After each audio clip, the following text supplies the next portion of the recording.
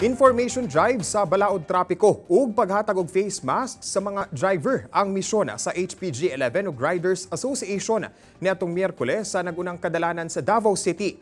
Ubos kini sa programang Balikatan para sa ligtas na daan. Ani ang report.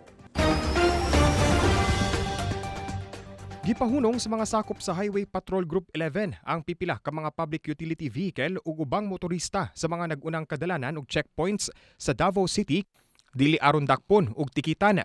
Apan aron nga painumduman sa mga balaod trapiko nga kinahanglang tumanon sa pagbiyahe.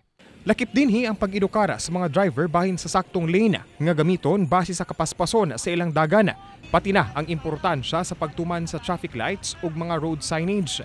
Giabisuhan sab ang mga motorista nga kanunay i-renew ang rehistro sa sakyanan ug ang ilang driver's license. At the same time, pandemic. So medyo in- iniba namin para ang approach para naman ma-appreciate ng tao na hindi lang po tayo huli. We, uh, we go back to the basics to remind people na ito yung mga laws, ito yung mga traffic laws na kailangan ng ano. So it helps. Gawa sa info drive ng hatag sab ang mga law enforcer og face mask.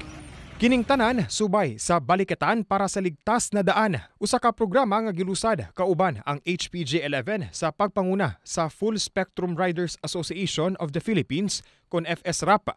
Ang pagtukod sa FSRAP usa sa mga programa ni PNP HPG Chief Brigadier General Alexander Taguma aron nga magsilbing force multiplier o kaabag sa HPG sa pagsita sa mga magmalapason sa balaod trapiko.